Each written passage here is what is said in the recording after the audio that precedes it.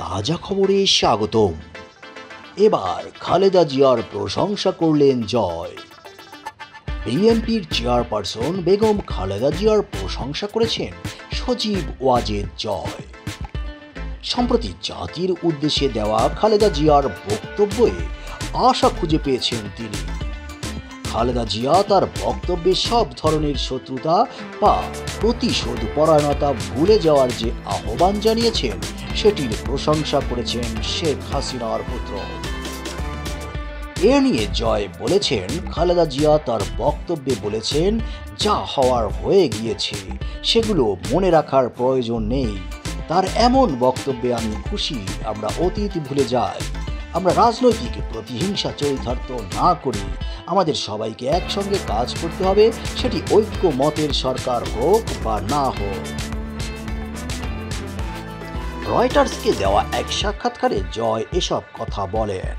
গতকাল শুক্রবার দিবগত রাত দুইটার দিকে সজীব ওয়াজেদ জয়ের সাক্ষাৎকার ভিত্তিক প্রতিবেদনটি প্রকাশ করেছে রয়টার্স। যুক্তরাষ্ট্রের ওয়াশিংটন থেকে তিনি রয়টার্সের সঙ্গে এ কথাগুলো বলেন।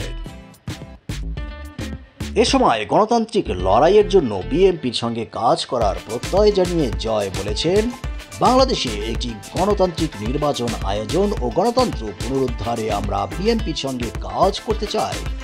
আমরা তাদের সঙ্গে কাজ করতে চাই, এটি নিশ্চিত করার জন্য যে বাংলাদেশে শান্তিপূর্ণ গণতান্ত্রিক পরিবেশ থাকবে, যেখানে অবাধ ও সুষ্ঠু নির্বাচন হবে।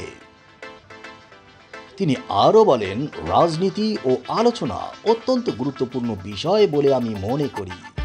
আমরা নানান ইস্যুতে তর্ক করতে পারি, আমরা কোনো বিষয়ে একমত নাও হতে পারি, তবে ভিন্ন মত পোষণের অধিকারের প্রতি আমাদের একমত থাকতে হবে। আর আমরা সবসময় আপোষ করার উপায় খুঁজে বের করতে পারি। এদিকে, জয় ডক্টর ইনুসকে কড়া বার্তা দিয়েছেন বলেছেন অন্তর্বর্তী সরকার সম্পূর্ণ অগণতান্ত্রিক ও অসাংবিধানিক। সাবেক প্রধানমন্ত্রী শেখ হাসিনার ছেলে জয় এ কথা বলেছেন। অনেকটা আক্রমণ করে তিনি বলেছেন, এ সরকার অসাংবিধানিক, কারণ এ সরকারের কাছে বাংলাদেশের মানুষের সমর্থন নেই। কেউ এ সরকারকে ভোট দিয়ে নির্বাচিত করেননি।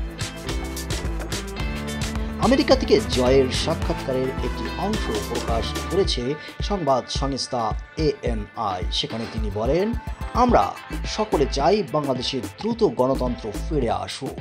যে অন্তর্বর্তী সরকার তৈরি হয়েছে তা সম্পূর্ণ অগণতান্ত্রিক, অসাংবিধানিক।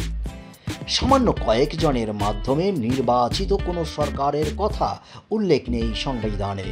বাংলাদেশে সতেরো কোটি মানুষ রয়েছে, সেখানে বিশ থেকে তিরিশ হাজার আন্দোলনকারী তো সংখ্যালঘু। তারা সরকার ঠিক করতে পারে না। এ সরকারের জন্য কেউ ভোট দেয়নি। আনন্দবাজার অনলাইন আবার এই প্রতিবেদনটি প্রকাশ করেছে।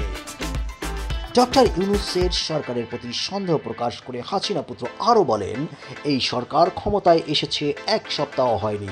তারা আদৌ বাংলাদেশের শান্তি শৃঙ্খলা ফেরাতে পারবে কিনা তা নিয়ে আমার সন্দেহ রয়েছে।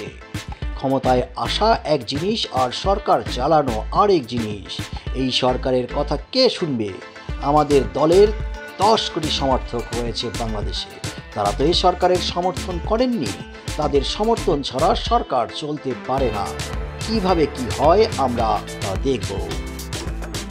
তাজা খবর পেতে আমাদের চ্যানেলটি সাবস্ক্রাইব করুন ধন্যবাদ।